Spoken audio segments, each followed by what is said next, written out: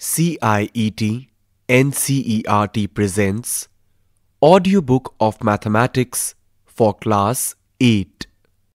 Let's listen to Chapter 6 Squares and Square Roots.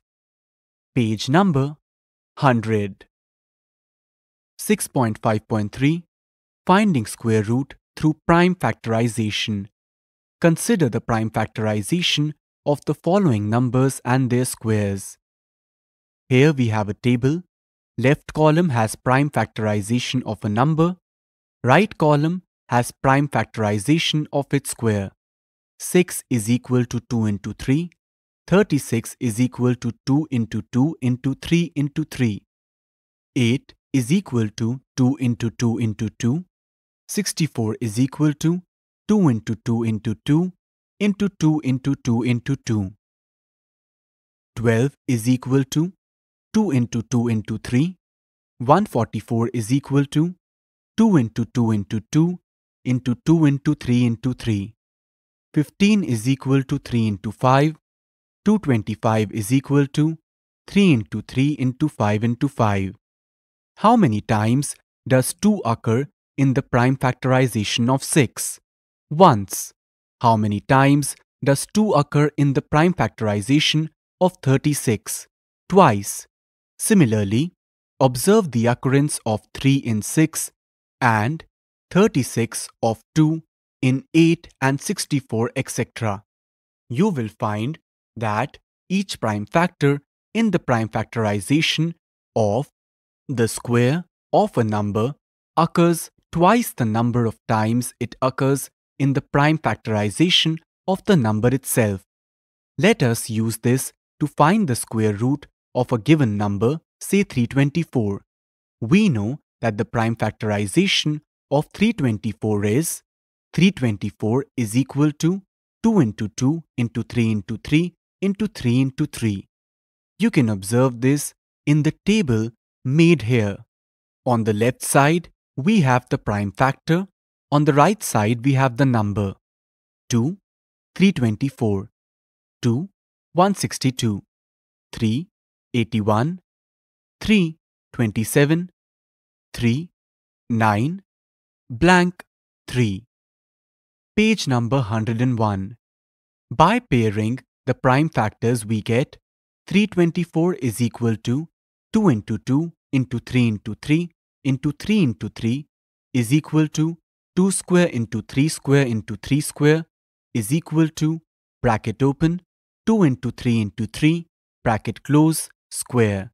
So, square root of 324 is equal to 2 into 3 into 3 is equal to 18. Similarly, can you find the square root of 256? Prime factorization of 256 is 256 is equal to 2 into 2 into 2 into 2 into 2 into 2 into 2 into 2. You can observe this in the small table made here.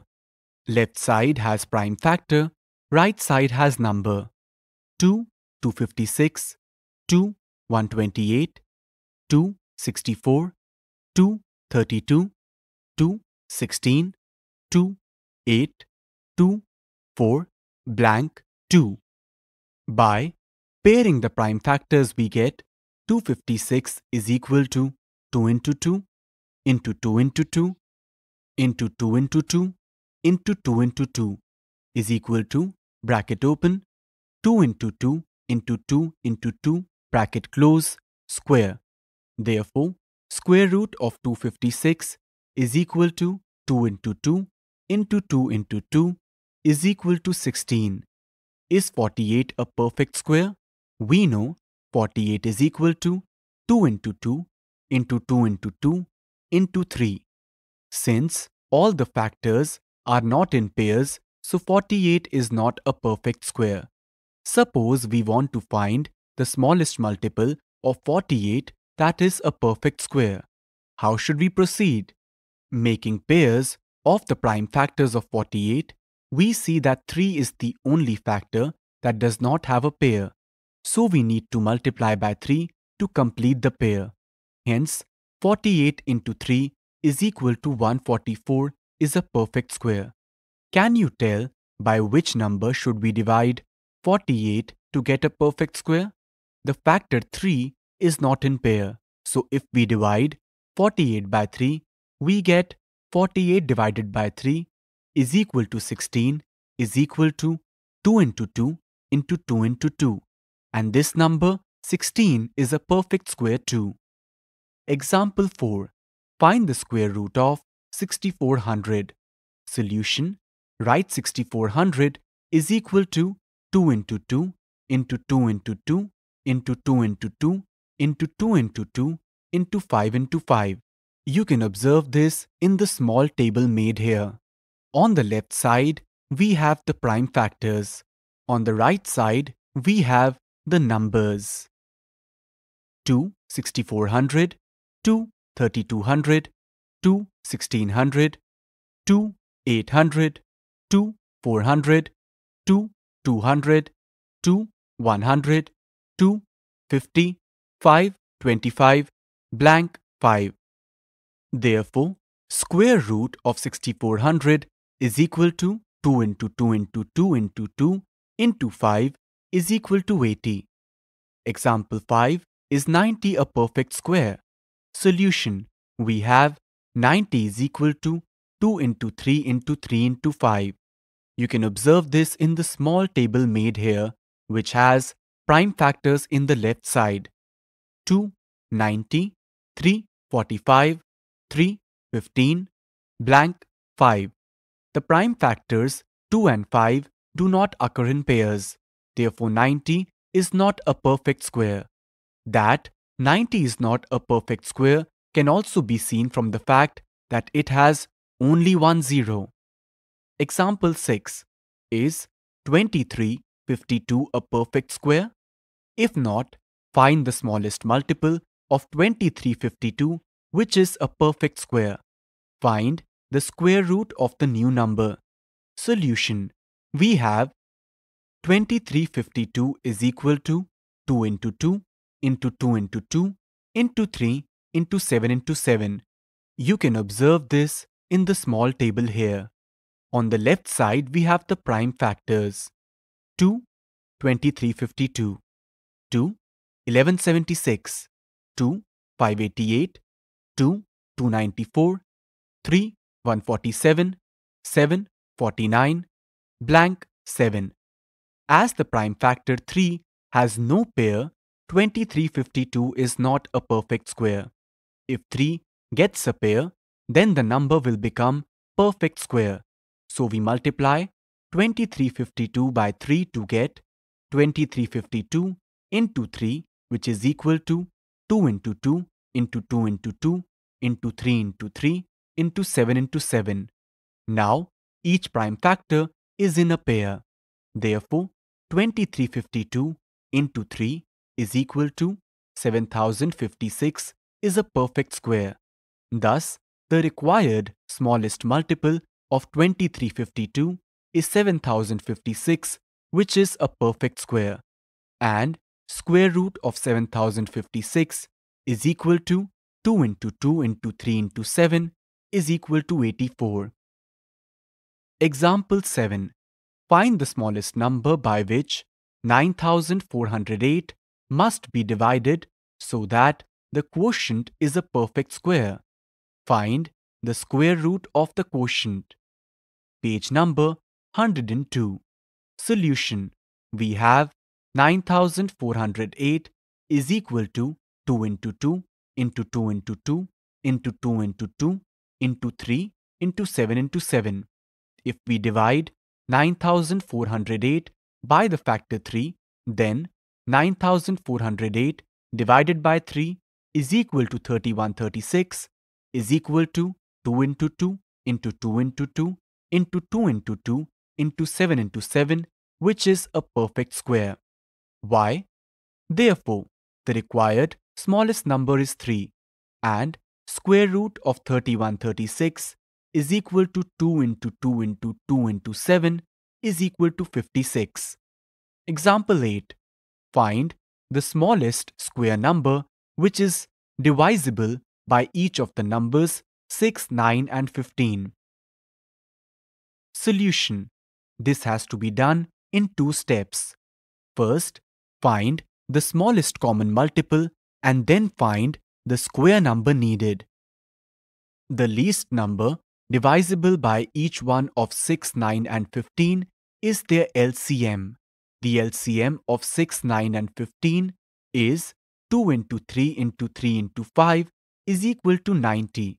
You can learn this from the table here. On the left side, we have the prime factors. 2, 6, 9, 15. 3, 3, 9, 15. 3, 1, 3, 5. 5, 1, 1, 5. Blank, 1, 1, 5. We observe that prime factors 2 and 5 are not in pairs. Therefore, 90 is not a perfect square. In order to get a perfect square, each factor of 90 must be paired. So we need to make pairs of 2 and 5. Therefore, 90 should be multiplied by 2 into 5 that is 10. Hence, the required square number is 90 into 10 is equal to 900. Exercise 6.3 1. What could be the possible ones digits of the square root of each of the following numbers? 1. 9801 2. 99,856 3. 9 lakh 98,001 4. 65 crore 76 lakh 66,025 2. Without doing any calculation, find the numbers which are surely not perfect squares. 1. 153 2. 257 3. 408 4. 441 3. Find the square roots of 100 and 169 by the method of repeated subtraction. 4. Find the square roots of the following numbers by the prime factorization method. 1. 729 2. 400 3. 1764 4. 4096 5.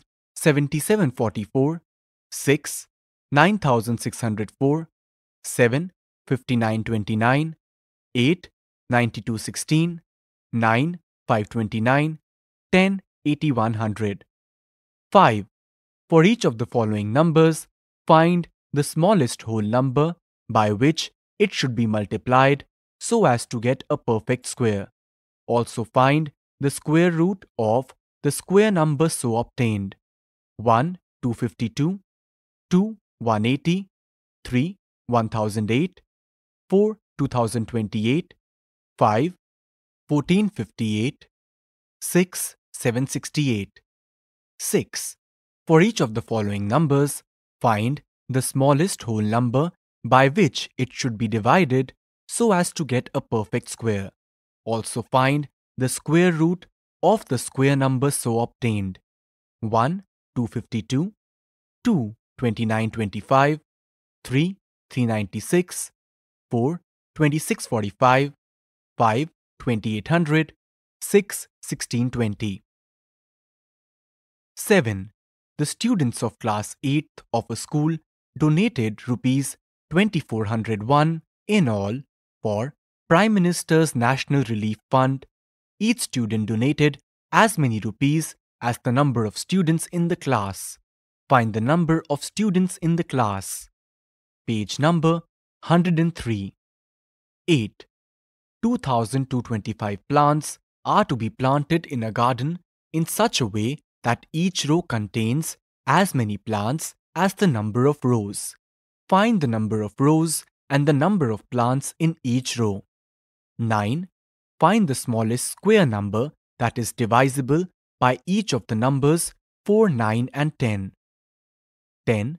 Find the smallest square number that is divisible by each of the numbers 8, 15 and 20. 6.5.4 Finding square root by division method.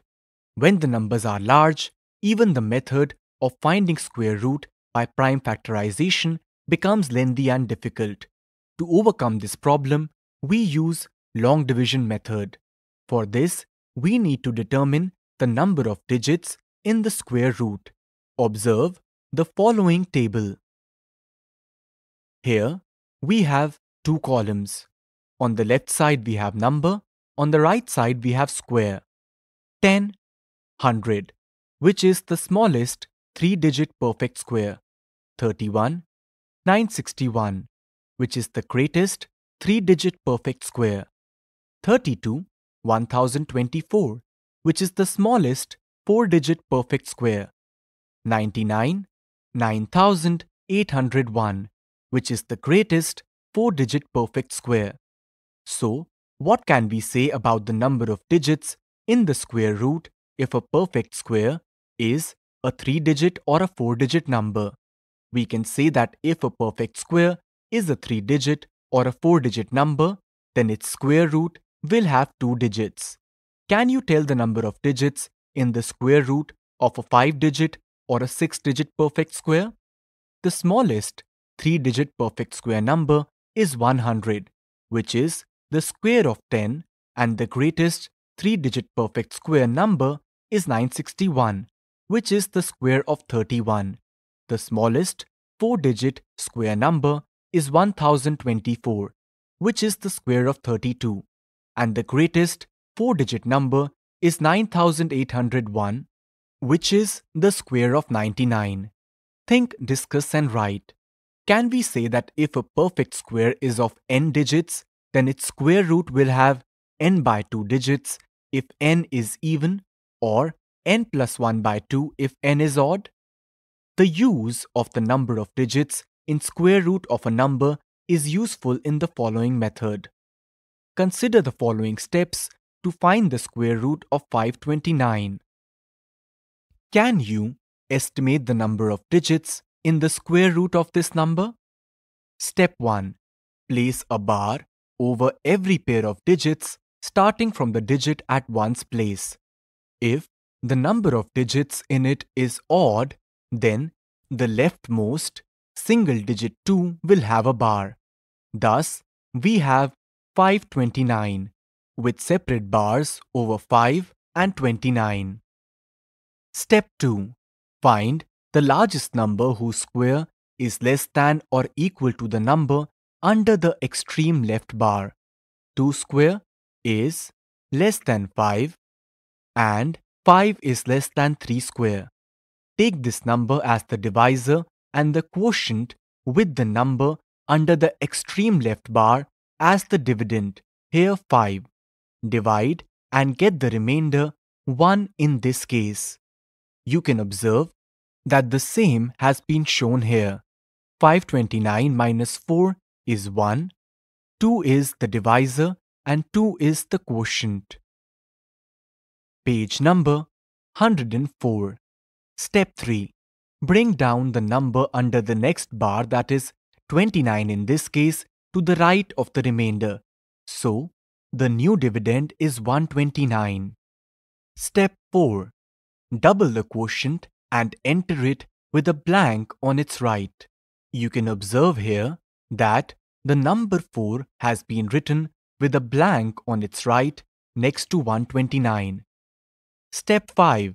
Guess a largest possible digit to fill the blank which will also become the new digit in the quotient such that when the new divisor is multiplied to the new quotient, the product is less than or equal to the dividend. In this case, 42 into 2 is equal to 84, as 43 into 3 is equal to 129, so we choose the new digit as 3. Get the remainder. Step 6. Since the remainder is 0 and no digits are left in the given number, therefore, square root of 529 is equal to 23. You can observe this in the division we have done on the left. 129 minus 129 is equal to 0. 23 is the quotient. Now, consider square root of 4096. Step 1. Place a bar over every pair of digits starting from the ones digit. There are two separate bars over 40 and 96. Step 2. Find the largest number whose square is less than or equal to the number under the leftmost bar. 6 square is less than 40 is less than 7 square. Take this number as the divisor and the number under the leftmost bar as the dividend. Divide and get the remainder that is 4 in this case. You can observe this in the division we have done here. 6 is the quotient, 6 is the divisor. 4096 minus 36 gives us the remainder 4. Step 3. Bring down the number under the next bar, that is 96, to the right of the remainder. The new dividend is 496. Step 4. Double the quotient and enter it with a blank on its right. You can observe that 12 has been written with a blank on its right. Step 5.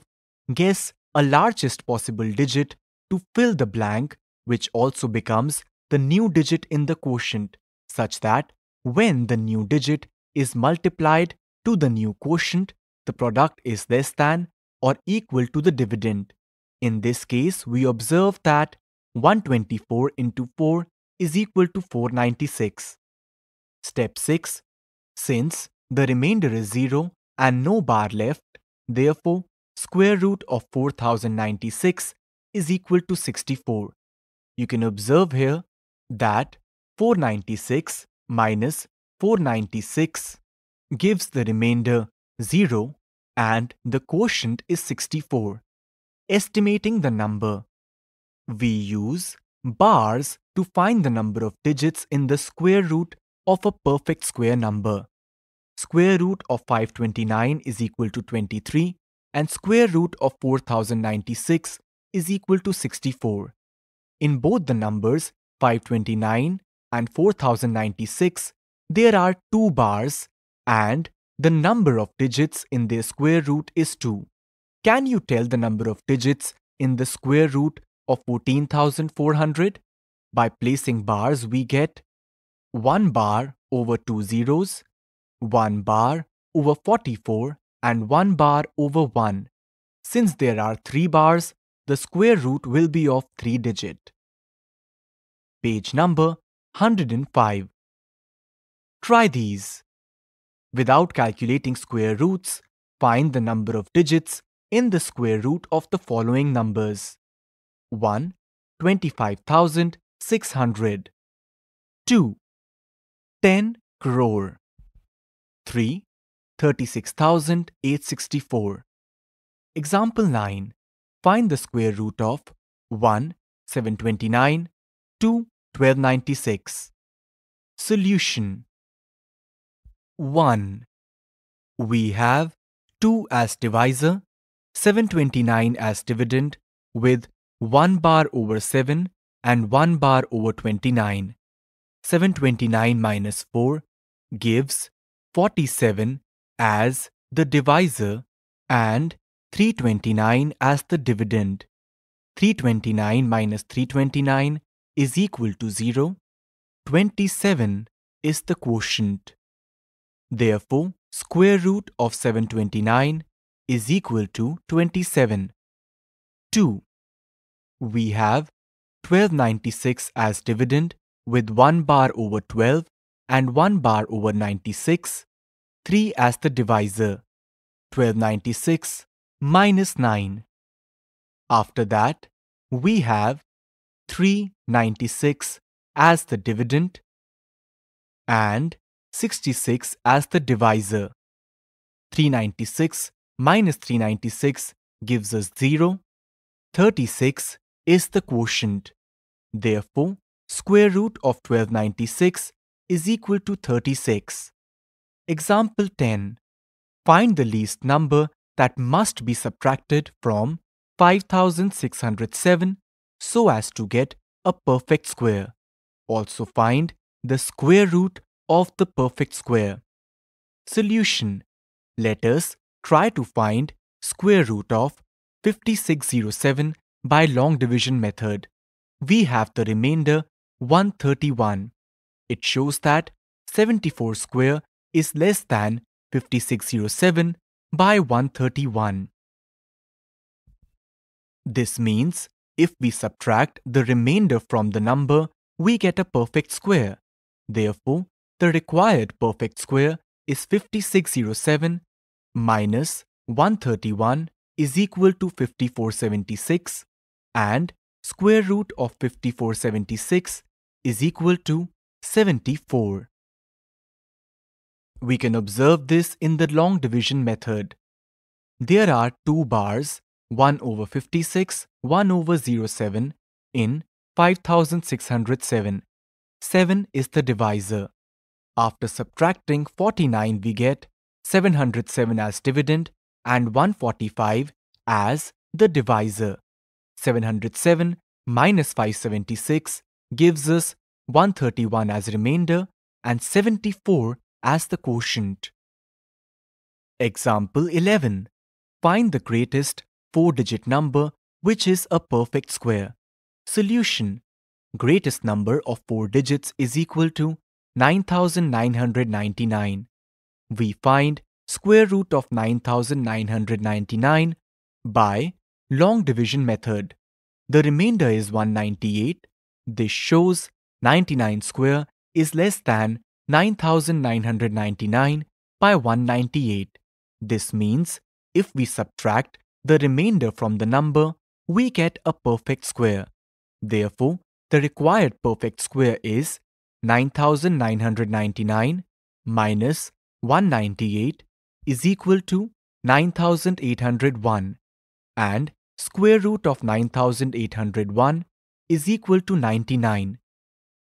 We can observe the long division method. 9999. There are two separate bars over each 99. 99 is the divisor.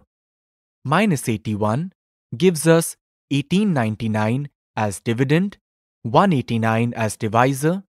Minus 1701 gives us 198 as the remainder and 99 as the quotient.